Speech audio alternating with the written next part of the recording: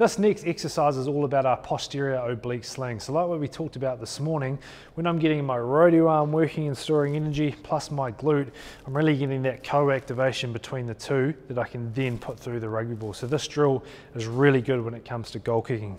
So with our band height, we want to settle up about head height, and there's two stages that we can do this. So if I'm holding the band in my right hand, my right leg's going to go back first. So bit of tension on the band already. I'll go back into a lunge. My knees just off the ground. I've got 90 degrees here, 90 degrees in my back leg. All I'm doing here, this glute's really firing.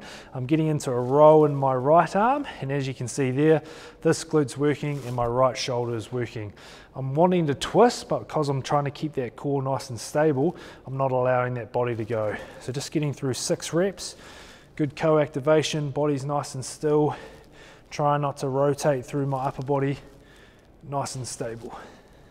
So now we get into the second stage of this drill where we can actually come out of that reverse lunge. So same cue, right hand, right leg is going to go back. I'm going to get into that nice stable lunge for a start. 90 degrees in both legs. I'm nice and rock solid and stable.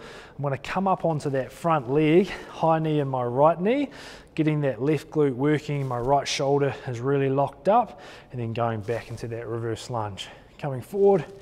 So again, I love this exercise because there's a direct reflection into goal kicking of that co-activation.